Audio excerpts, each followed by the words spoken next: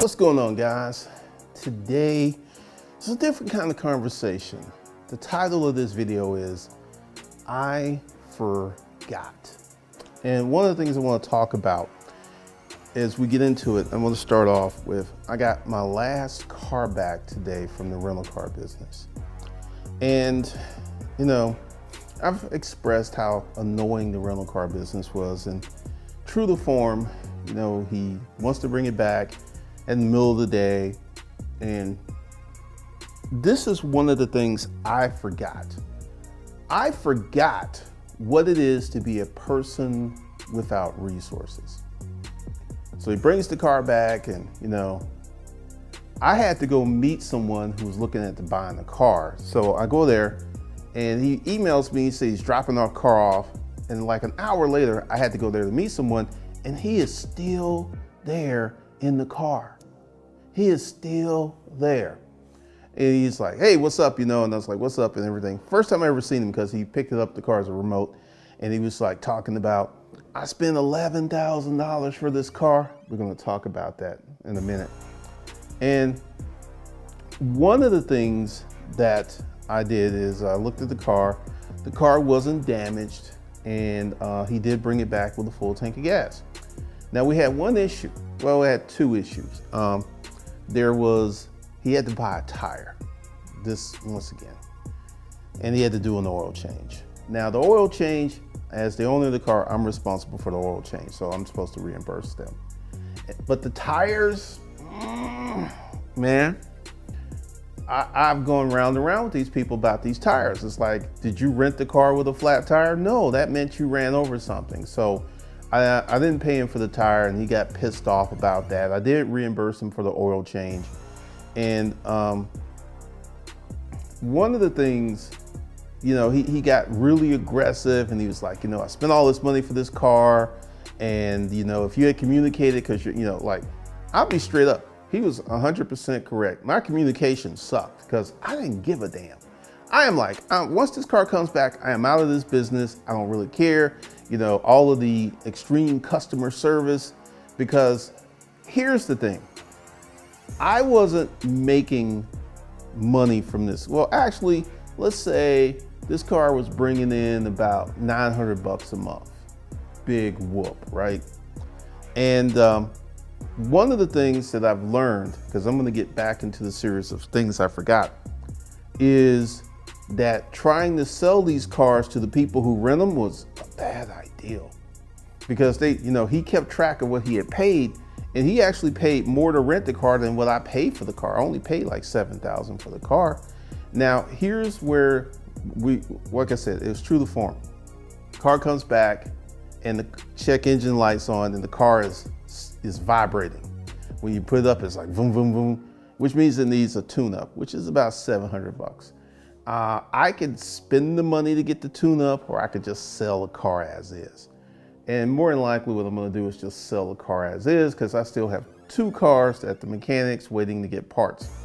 So I'm gonna let someone else deal with that. But he never mentioned that the car was doing that. And the, the, the last, the last vehicle, the last vehicle to come in, same problems that started happening. And I feel that's the only reason that he brought it back is the car was acting up. Even though I have all these messages from him about the oil change, about the tire, nothing about the car needing maintenance, nothing. And um, one of the things that um, I looked at and I um,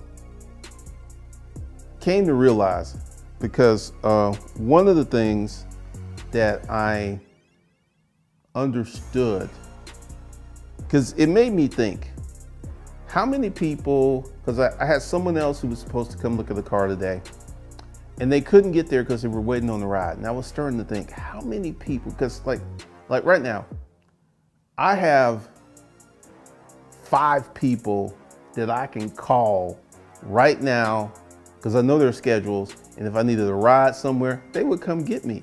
Or they would I have people that I can count on. 2019, I had a heart attack. I had someone waiting on me hand and foot in the hospital. So this is what I mean. I forgot. I forgot what it is to be a person without resources, without someone to help them out, someone to call on. I've not lived in an environment where I've not had help or assistance whenever I needed it.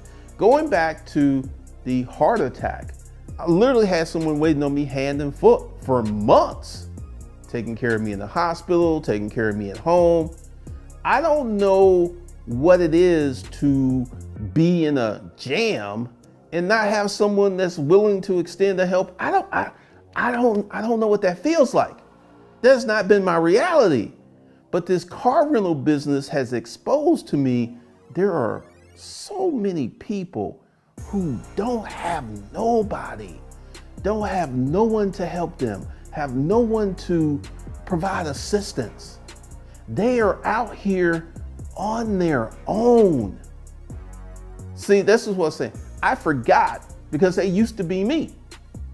I used to be out here on these streets by my damn self. I didn't have no one that I can borrow money from. I didn't have no one that can help me. I didn't have no one to wait on me. Like if I had a heart attack when I was homeless, I would have been screwed. But over the years, I have built relationships, associations where literally, you know, I don't really need something. And th this is one of the things like whenever one of my friends, like if I need something, they're like, you need something for me? Who is this? My, this is strange. You actually need, they're surprised because I don't really ask for stuff. I really don't ask for stuff. And one of the things that I forgot what, how lonely it is, how desperate it is, how bad it is to be in this world by yourself with no one to help you. You know, uh, there was a YouTuber who made fun of this because I, I, I, actually kept a habit of keeping a girlfriend and living with a girl because I didn't want to get to the point where I was unable to live with someone. There are many people who are so self-centered, selfish, they can't live with no one because it's all about them. And I believe this YouTuber, she's in the same boat. I don't think she can live with anyone because it's all about her. And you know, it, it, gets real interesting how people will look and remark at the things I say, but they don't learn the lesson. One of the reasons that I have associates, friendships, relationships where I can get assistance when I need it um, is because I have been a friend to people before I needed the assistance. And I'm just looking at the number of people who are, who have no one. And I can see if you were born an orphan, you were born and your parents just threw you in the street and you grew up in an orphanage, I can see to a point why you would not have the family. Because here's the thing if you didn't know this about me, um, my grandmother, Catherine Cameron, married my grandfather, Sumner Cameron, after he had already had children who were 18, 19, 20, and 25 years old. So my grandfather, who was an older man, married him a a hot, like, you know, I never really thought about this until I made this video, but my grandmother was a hot number when she was younger because she was, quote, red bone, she had blonde hair. She was high yellow, as they would call her.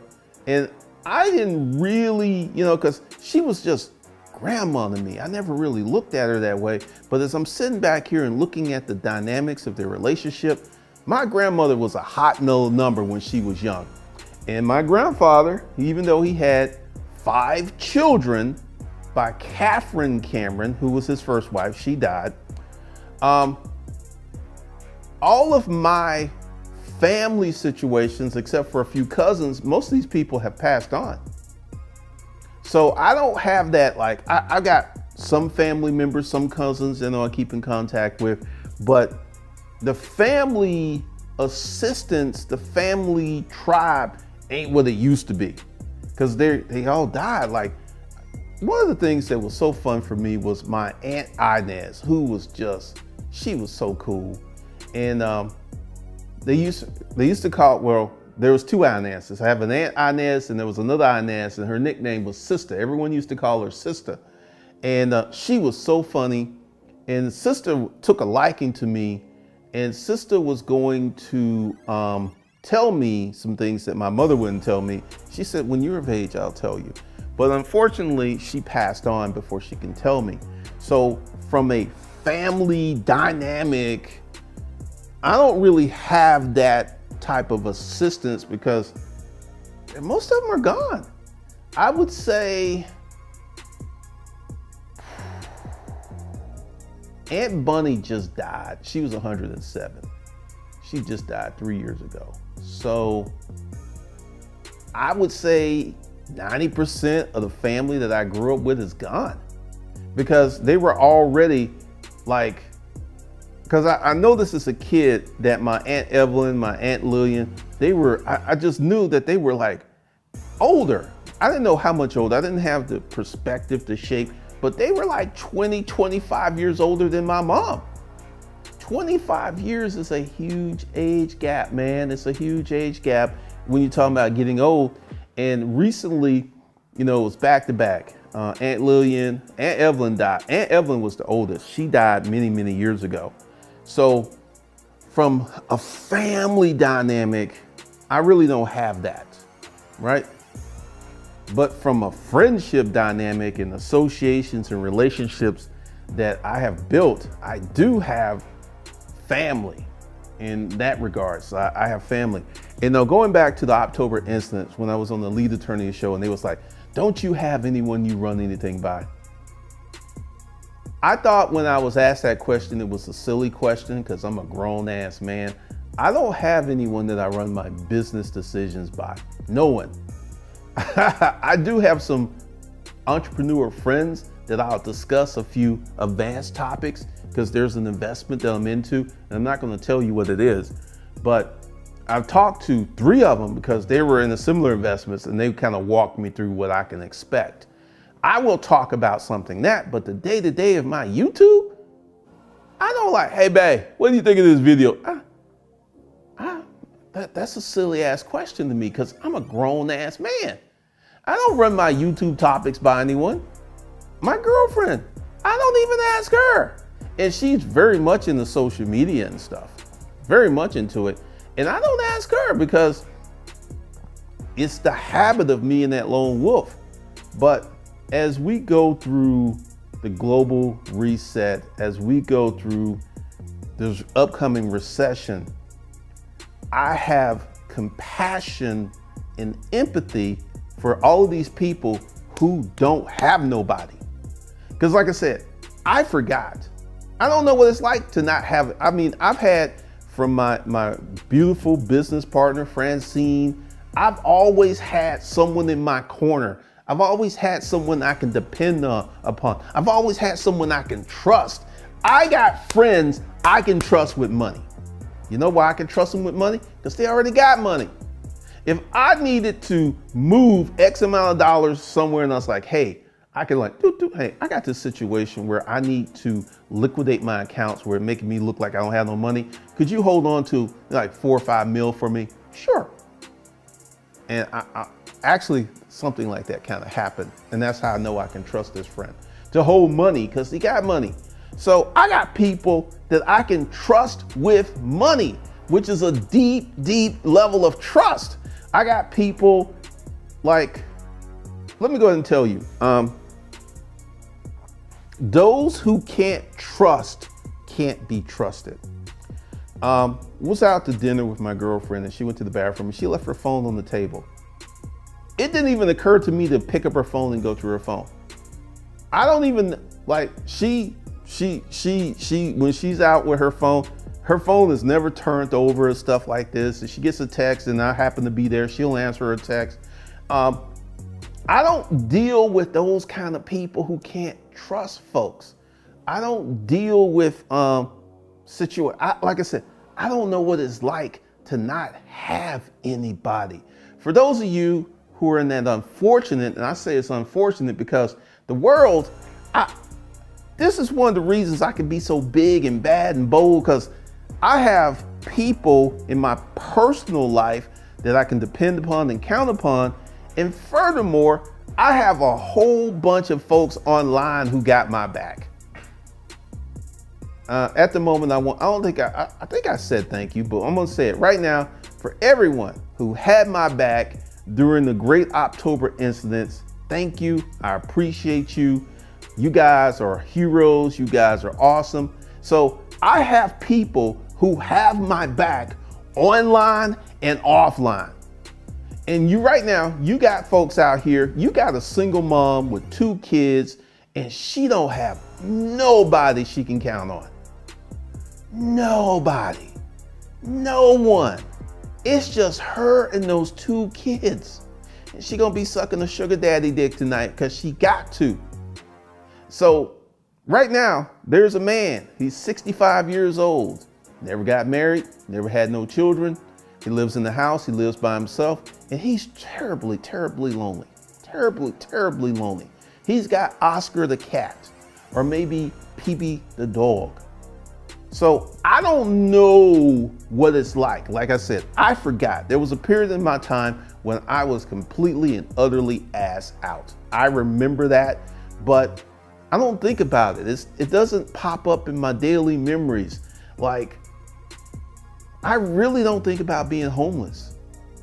It, it never really crosses my mind. Like when I do a video and I talk about being homeless, at that moment, I go back in time and I, I realize that.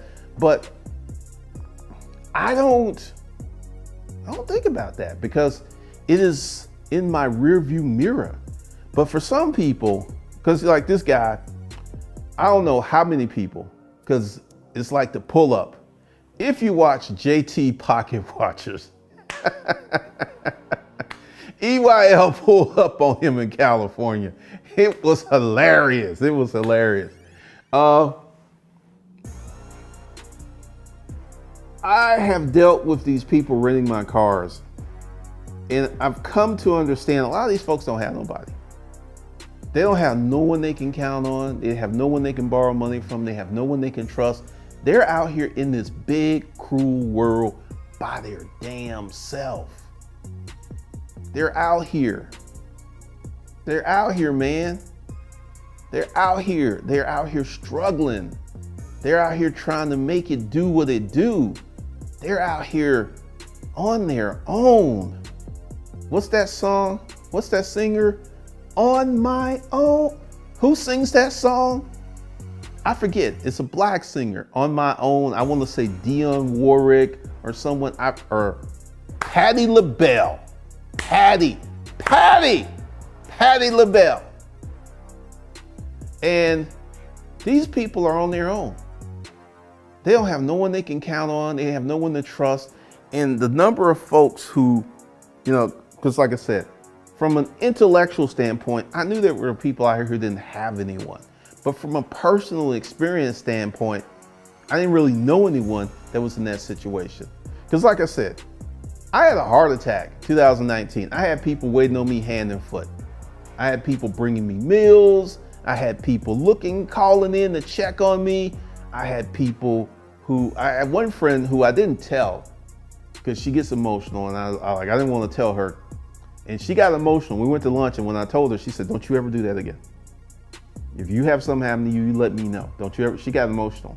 So I got some really good friends. I got some amazing friends. I got some great friends, and um, I don't know what it's like to be out here in this world by myself. I don't. I have no clue to what. The, I don't know. But for those of you who are in the unfortunate situation where you don't have no one you can trust or the people in your circle, you got to look at them because they're out to get you or they may try to stick you for your paper. Please put that in the comments because I don't know what it's like to be on my own. Now, as a YouTube creator, I consider myself a full-time YouTube creator. Um, I spend a great deal of time alone, but I'm not lonely. I'm not lonely. And, you know, I see my girlfriend too. You know, on a good week, I'll see her like three times a week. But on, you know, the good average week, once or twice a week. And because I'm so busy, it doesn't bother me. And she's busy too. She's really busy. So, um, one of the things that I'm contemplating and I'm looking at, because once again, there's something I'm working on. I'm not going to mention what I'm working on because it's not it's not ready to it's not ready for prime time. It's not ready to be mentioned. But man, I like I said, I forgot. And this dude who returned the car today, because the the pressure, because you know, I'm about to say something that may sound insensitive. It may even sound heartless to some people. I don't worry about bills. I don't worry about the price of gas. I need gas, credit card goes in the machine, I pump my gas, I go about my business. I don't worry about that stuff because of the stuff in the home economics course that I've learned is one of the reasons I don't worry about this stuff. I don't worry about inflation. I don't, I just, I don't worry about that stuff because I have put in the work. I have put in the work years ago to be where I'm at today. Let's go ahead and talk about that. The decision that you make today in 2022 is going to have ramifications in 2032. The decisions that you make today have 10 year consequences. So if you make a whole bunch of good decisions today, 10 years down the road, your life is going to be amazing. But if you make a bunch of doo-doo head decisions or you just tricking off or you messing around, you might be in the same spot that you're in today 10 years from now. And that's not a good look. That's not a good look. So, once again, um, you know, for the folks who don't have nobody, you have my uh, condolences, you have my empathy, because I don't know what it's like to be alone in this world. And every time, like, I don't think I've ever told this story. 10 years, like 2009, yeah, it was a 10 year gap. 10 years ago, I got sick. I had chronic fatigue syndrome and some other stuff, and I was unable to work. And guess what I had back then? I had my business partner, and then the girl I was dating, she waited on me hand and foot. This girl actually cooked dinner and brought dinner to me in bed. So I don't know what it's like to not have nobody. And once again, salute to all of my online soldiers, to all of the people who are in the Glendon Cameron platoon, who are putting up videos dealing with the dirty, nasty salties. I had someone put up a video, you know, th this is one of the, these people are so stupid. I got a video on Disruptive Male just talking about how to be a predator, right? Just like, none of these clowns have commented on it because maybe they can realize that I was just trolling. I was trolling hard. But they will comment on videos that have nothing to do with it. I don't understand that. If you can understand that and you can hip a brother to it, let me know. But once again, I don't know what it's like to be on my own. I don't know what it's like to be in this world by myself. I don't I don't I have no clue to what that feels like. On a personal level, I don't know what it's like to be by myself on a professional level, I don't know what it's like to be on by myself. On a friendship level, I don't know what it's like to be by myself. I don't. Once again, you know, I feel that I've made some pretty good decisions. I've been a really good friend. And going forward, I'm going to have to remember and cherish those friendships and keep them intact because, you know, I don't want to be one of those folks to know what it's like to be on my own. I, Ugh, that just sounds terrible. That sounds horrible. That just sounds, mmm, sounds messed up. Sounds messed up. So the reason I'm doing this video is we're on, we're in the great, we're in the global reset. And next year we will be in a recession. And these economic forces usually bring bad things to people who like, one of the reasons that I watch soft white underbelly is these people are real. These are real people who are living life and he deals with the bottom 25% of America. And I just look at what would have happened if my mother was the product of a poor family because believe it or not my grandfather he owned a business my grandmother she was hot. My mother was the product of an upper middle class black family. This is why reading and education was such a fundamental. My grandmother my grandmother had her bachelor's degree. Back in the day that wasn't a normal thing to have a bunch of black folks with degrees. That wasn't normal. So my grandmother was atypical and i wonder what would happen to me if I wasn't born in that environment? Because the older I get, the more I realize how important that stuff was. This is why, you know, if I have more children, I'll be married. My kids will grow up in a two parent household. I, it's so important. It's so important. And I wonder what would have happened because there were some kids in the neighborhood, Olivia and Levi Paste, and these were the lost children.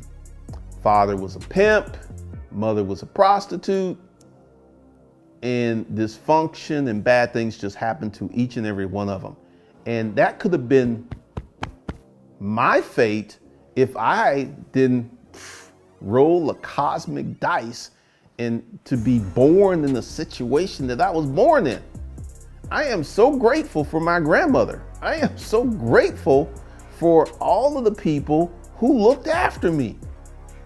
They contributed to my success. So that's all I got for you guys. I got something else I'm gonna roll out for you really, really soon. We'll let you know. This is Glendon Cameron. Let you let me know what you thought of this video in the comment section with the well-constructed comments.